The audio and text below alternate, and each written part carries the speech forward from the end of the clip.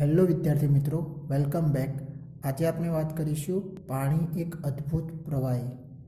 તો વિદ્યાર્થી મિત્રો, આપણે જાણીએ છીએ કે પાણી આપણા માટે કેટલું મહત્ત્વનું છે. બરાબર? જળ એ જીવન. તો આવા કેટલાય આપણે સૂત્રો જોયા છે. ઓકે? કેમ? કારણ કે પાણી આવા સજીવો માટે ખૂબ જ મહત્ત્વનું છે. તો હવે આ પાણી ક્યાં આગળ જોવા મળશે આપણને? તો એ વાત કરીએ તો પાણી મોટા ભાગે પૃથ્વીની સપાટી પર મોટો ભાગ રોકાયેલો છે. ઓકે. તો પાણી એક તો ભૂમિગત એટલે કે સપાટી પર રહેલું છે. એની સાથે સાથે ભૂગર્ભીય ભૂગર્ભમાં પર રહેલું છે. બરાબર? બીજું વાતાવરણમાં બાષ્પ સ્વરૂપે પણ રહેલું છે. ઓકે. તો હવે આપણને આ રીતના અલગ અલગ જગ્યાએ પાણી જોવા મળશે. એટલે કે મોટા ભાગે પૃથ્વી પર પાણીની માત્રા રહેલી છે. ઓકે. તો હવે એમાંથી પાણીની વાત કરીએ તો બે પ્રકારે પાણી આપણને જોવા મળે છે. એક ખારું પાણી અને બીજું મીઠું પાણી. ઓકે, જે ભૂમિગત એટલે કે સપાટીએ જળ વિશે વાત કરીએ તો એના ઉપર ખારું પાણી રહેલું હોય છે અને બીજું હોય છે મીઠું પાણી. બરાબર? જેનો આપણે ઉપયોગ કરીએ છીએ. ઓકે, હવે જે ખારું પાણી ક્યાં આગળ હશે? તો મહાસાગરો અને દરિયામાં. બરાબર? જે મોટા ભાગે ઘેરાયેલું છે. ઓકે, પૃથ્વી પર. ઠીક છે? અને જે મીઠું પાણી છે એ ક્યાં આગળ જોવા મળશે આપણને તો નદી, ઝરણા, પછી સરોવર, ભૂગર્ભીય જળ ભૂગર્ભીય જળ, ઓકે, પછી હિમ આચ્છાદિત પર્વતો, હિમ, આચ્છાદિત પર્વતો પર પછી ધ્રુવો ઉપર ધ્રુવો ઉપર જે, ધ્રુવ પરનો જે બરફ છે, એમાં પણ કેવું પાણી?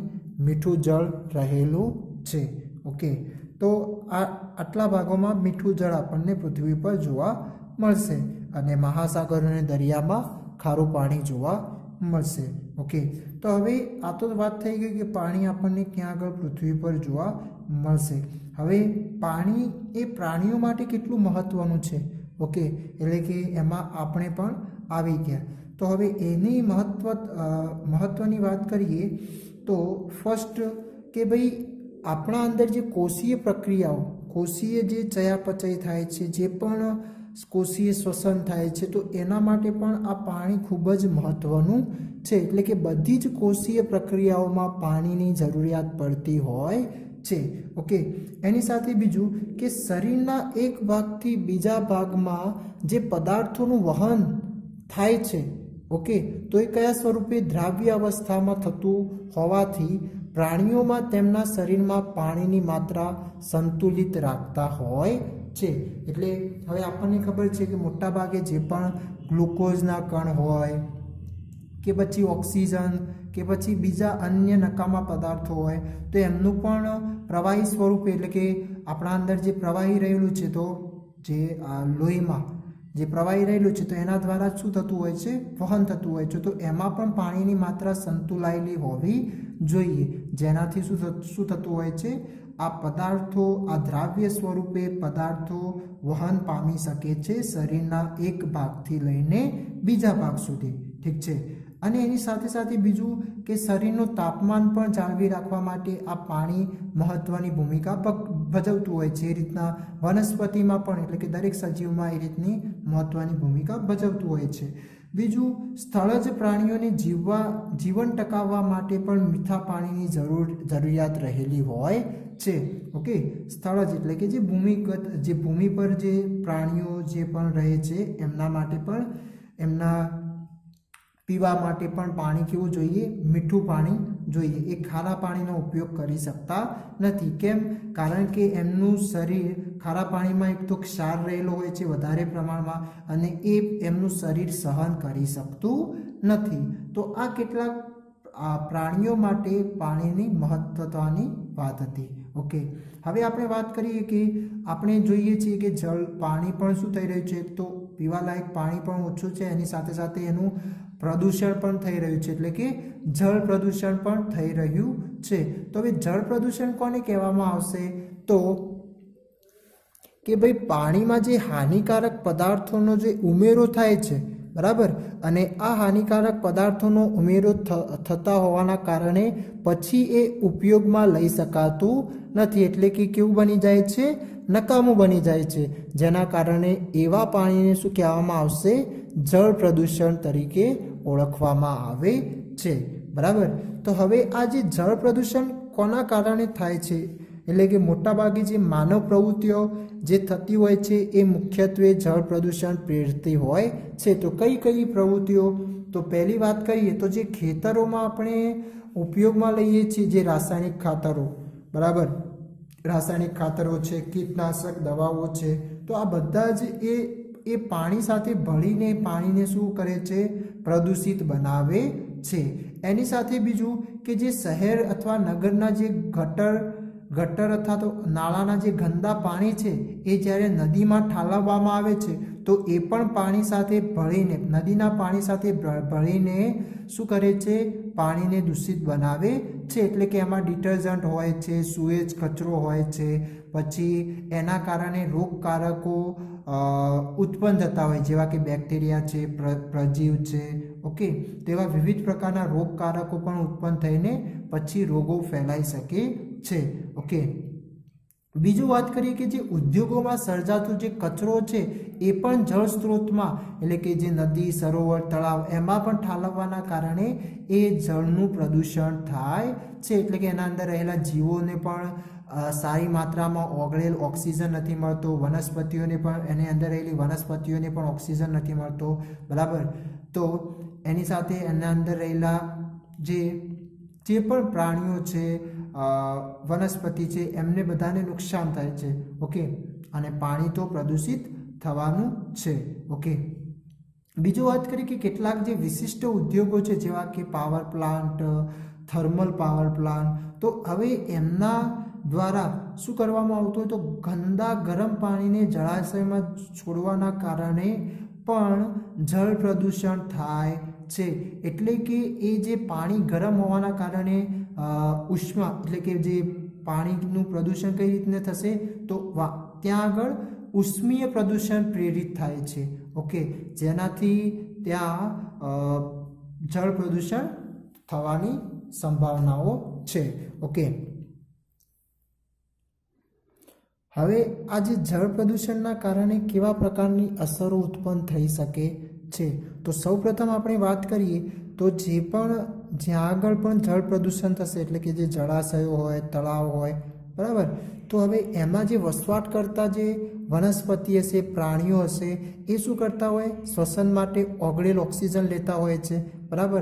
તો હવે એ ઓગળેલ ઓક્સિજન એમને પૂરતા પ્રમાણમાં મળશે નહીં. કેમ? કારણ કે જળાશયમાં જે આવા જળ પ્રદૂષકો ઉમેરાશે, તો એ શું કરશે?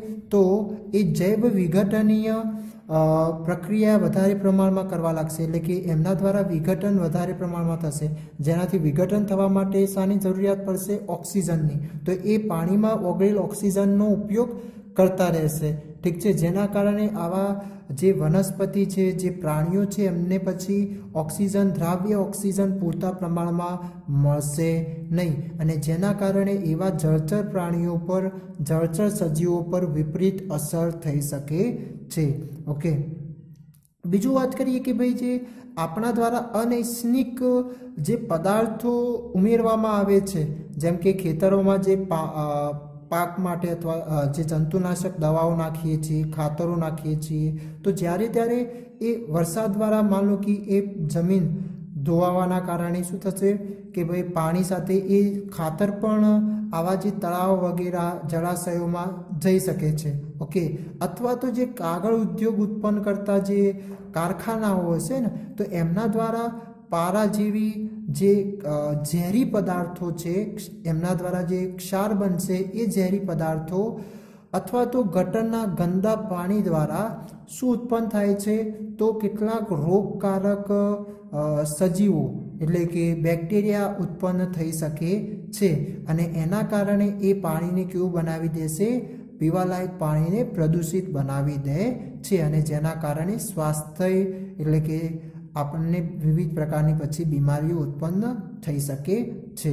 ઓકે બીજું વાત કરીએ તો જે આ જળચર સજીવો છે, એટલે કે જે આપણા દ્વારા જે ગરમ પાણી પણ, એટલે કે આ જે આપણે વાત કરીએ ને થર્મલ પાવર પ્લાન્ટ એ જે બધા પાવર પ્લાન્ટ છે તો એમના દ્વારા જે ગરમ પાણી જે જળાશયોમાં છોડવામાં આવે છે, જેમના કારણે એ જે અંદર રહેતા જળચર પ્રાણીઓ છે એમને પણ એ નુકસાન કરે છે. હવે એ કઈ રીતના? તો જે જળાશયમાં જે પણ જળચર પ્રાણીઓ રહે છે, એ એક વિશિષ્ટ તાપમાન પર જ અનુકૂલિત અનુકૂલિત હોય છે. બરાબર? હવે જ્યારે આ રીતનું ઉષ્મીય એટલે કે ગરમ પાણી આવા જળાશયમાં છોડવામાં આવે છે, ત્યારે ઉષ્મીય પ્રદૂષણ એ જળમાં ઉત્પન્ન થશે. એટલે કે તરત અચાનક જ એ પાણીનું તાપમાન શું થવા લાગે છે? વધવા લાગે છે. ગરમ પાણી આપણે અંદર નાખતા હોવાના કારણે. ઓકે જેનાથી તાપમાનમાં ફેરફારની અસર ઉત્પન્ન થશે અને એના દ્વારા જે જે તે પ્રાણીઓ છે એમના પ્રજનન ક્રિયા પર અસર પડે છે. ઓકે? અને એની સાથે સાથે એમના પ્રાણીઓના જે ઈંડા હોય છે, એ આ રીતનું જો તાપમાનમાં ફેરફાર થાય, તો પછી એ સંવેદનશીલ હોય છે. એટલે કે તરત પછી એ શું થઈ જશે? ફૂટી જશે. એટલે કે એ એમાંથી નવા પ્રાણીઓ જન્મ લઈ શકશે નહીં. ઓકે? સંવેદનશીલ હોવાના કારણે એ ફૂટી જાય છે. ઓકે? તો આ કેટલીક જળ પ્રદૂષણ થવાથી અસરો હતી. ઉષ્મીય જળના કારણે જે પ્રજનન ક્રિયાઓ, પ્રાણીઓની પ્રજનન ક્રિયાઓ પર અસર પડશે. પછી અમુક રોગચાળાઓ ફેલાઈ શકે છે. ઓકે? પછી જે દ્રાવ્ય ઓક્સિજન મળવો જોઈએ જળચર સજીવોને, એ મળશે નહીં. ઓકે? તો આ પ્રકારે વિવિધ પ્રકારની જળ પ્રદૂષણના કારણે અસરો ઉત્પન્ન થઈ શકે છે ઓકે તો આજે આપણે જોયું કે પાણી એક અદ્ભુત પ્રવાહી છે ઓકે એની પ્રાણીઓ માટે મહત્વતા શું છે ઓકે આપણા દ્વારા કઈ રીતના એનું પ્રદૂષણ થાય છે અને એ પ્રદૂષણથી આપણને અને બીજા સજીવોને કઈ રીતના અસરો પહોંચે છે, એના વિશે આજે ચર્ચા કરી ઓકે થેન્ક યુ